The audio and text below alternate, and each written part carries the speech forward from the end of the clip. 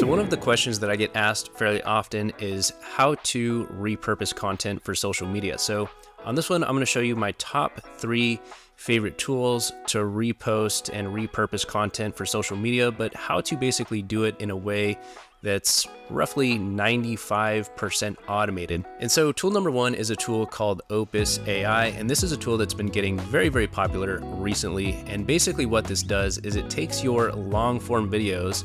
For example, if you have a podcast or other long form videos on YouTube and things like that, what you can do is take those videos, put them into Opus, and it will automatically clip those videos down and turn them into short form videos that you can use on TikTok, Instagram Reels, Twitter, whatever other short form platforms that you are using. It will automatically edit the video, it will add captions, it will add titles, it will do all of these things for you so that you literally just have to take the video and repost it onto your short form platforms. My next favorite tool is a tool called Repurpose IO.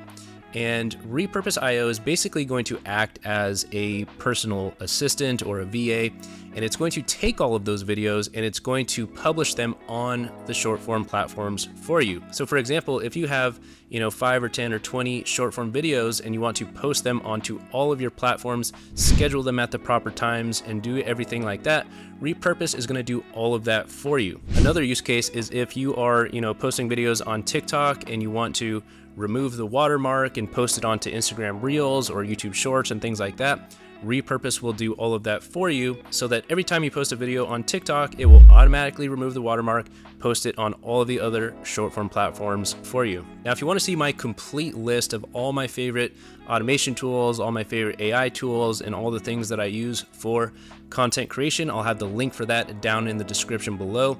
And that'll give you access to all the best, you know, deals and free trials and things like that if you want to try some of these tools out. But let's get into the third tool on the list. And this is a platform called Captivate. Now, this is specifically for podcasters, but Let's say, for example, if we're using this channel as an example, I have a podcast on this channel, and basically what Captivate does is it's going to take that podcast and it's going to automatically send those to all of the associated podcast networks. So, in other words, it's going to make sure that it gets onto Spotify and Google Podcasts and Apple Podcasts and all these different podcast networks. So, in other words, I can basically just manage my podcast inside of this one single platform. And from there, it's going to take care of everything else on the actual podcast networks, such as, you know, Spotify and Apple and all those places. So, to kind of bring it full circle, if we talk about this channel, for example, if I post a long form video podcast on this channel, what's going to happen is I'm going to first send that video into Opus. That's going to create,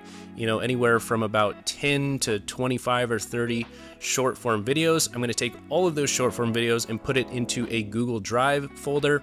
From there, Repurpose IO is going to post those on all of the relevant uh, short form platforms such as Facebook Reels, Instagram Reels, Twitter, TikTok, all those places. And I literally don't have to do anything to post all of those videos on all of those platforms. The other thing that's going to happen is as soon as I post that long form podcast on YouTube, Repurpose is going to automatically convert that into audio. It's going to send it into Captivate, and Captivate is going to make sure that that podcast gets to all of the relevant podcast networks such as Spotify, Google Podcasts, and everything like that. So that's pretty much it for this one. Again, if you want to see all of my favorite automation tools and AI tools and things like that, you can check that out in the description below. But that's it for now, and I'll see you in the next one.